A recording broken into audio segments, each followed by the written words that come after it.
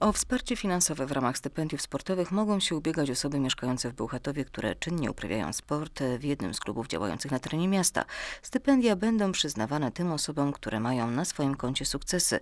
Były na przykład uczestnikami Igrzysk Olimpijskich, Mistrzostw Świata, Mistrzostw Europy, Pucharu Świata lub Pucharu Europy. Medalistami Mistrzostw Polski osiągnęli wyniki na poziomie odpowiedniej do kategorii wiekowej klasy sportowej w grach zespołowych w kategoriach wiekowych junior i młodszych lub zostali powołani do kadry narodowej. Analogicznie, by ubiegać się o stypendia artystyczne, trzeba mieć osiągnięcia w zakresie twórczości artystycznej. O wsparcie finansowe mogą się ubiegać laureaci ogólnopolskich bądź międzynarodowych przeglądów lub konkursów artystycznych. Wysokość przyznanych stypendiów ustalana jest indywidualnie dla każdej z osób, którym takie wsparcie finansowe zostanie przyznane.